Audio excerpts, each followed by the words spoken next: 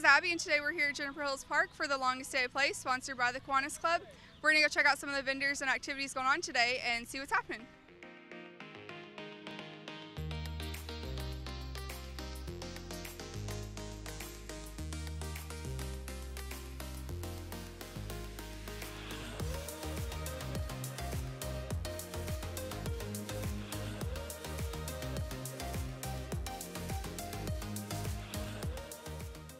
Well, the event is the longest day of play, and um, we have been doing this for three years now, uh, along with the Parks and Recreation Department, the Frankfort Parks and Recreation Department.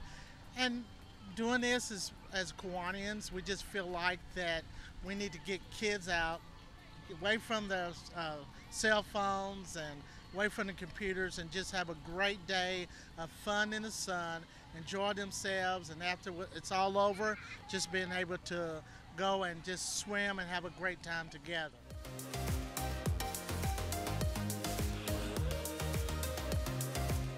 We have a lot of things going on. Uh, uh, we have a lot of the athletic programs here, uh, throwing footballs, giving uh, ices away.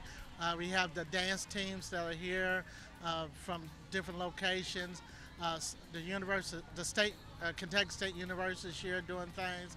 So you have a lot of businesses from uh, uh, the health department and others that many, I probably leave several out, that are here to just have kids to just have fun and a great time together.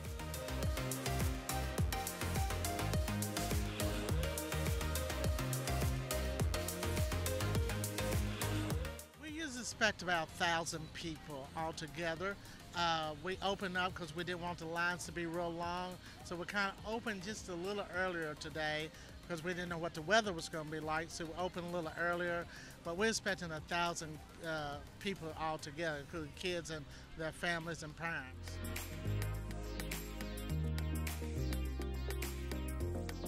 Well, I would just want to thank uh, uh, Cable 10 uh, for their awesome, uh, they do a lot in our community. Uh, sometimes people don't realize how much you do do. And I just want to say thank you to Cable 10. To, they have the water station. Uh, I know the Frankfort Plant Board, for example, has a water station that's already up. And uh, one thing I do want to say is I want to thank the large number of businesses that have networked and have come with the Kiwanis organization to give back to our community to help kids. And that's why we're able to do the things we can do because this community is great in, in giving back. So thank you to our community as well.